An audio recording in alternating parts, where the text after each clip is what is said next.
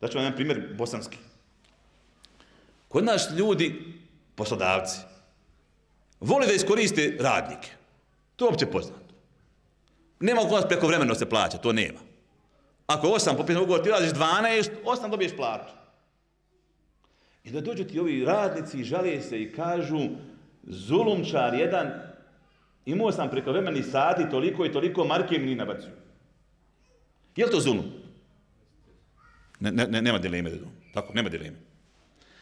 Ali ima jedna druga skrivena situacija u Bosni koja je rasprostranjanija od je prvi.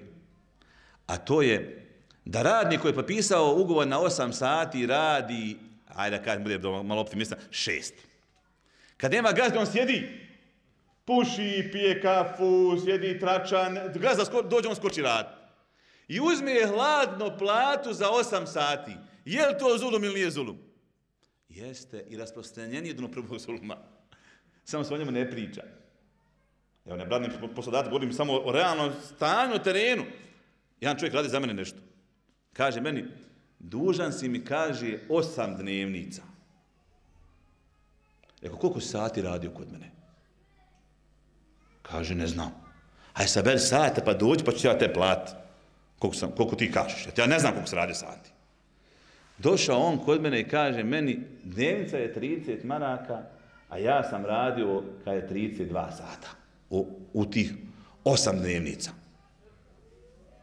Reku 32 podijeljeno na 8, 4 ako ja ne znam, reku. Matematika, puta 30, 120. Ti straži 320 maraka, reku. 240 maraka.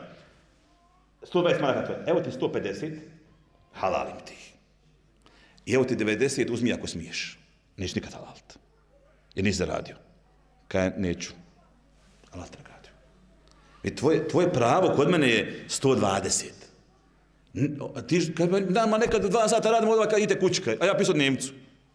Od Njemca je 8 sati se zna. To što vi ste pravili takav sistem, to i meni čini zulum. To je sad mesela, moje pravo. Ali ne smije insan se odnositi prema pravima ljudi na, na lagan način i mislite da to može nadomjestiti time što će raditi puno na fila. To je potpuno pogrešno i da kažem nenadomjestivo da insan može sebi dozvoliti da na taj način se obhodi prema pravima, prema, prema pravima e, ljudi. Zašto tako ljudi, zašto učenjaci kažu da su prava ljudi ispred prava Allaha ako su na istom levelu, kao dugovi, na primjer? Zašto?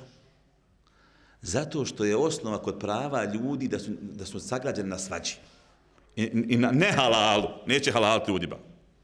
A prava Allaha su osnova kada je sagrađena na oprostu i na halalu. Će Allah preko toga prijeći. Zato se ovako tretiraju Allahova prava, a ovako se tretiraju prava, prava ljudi.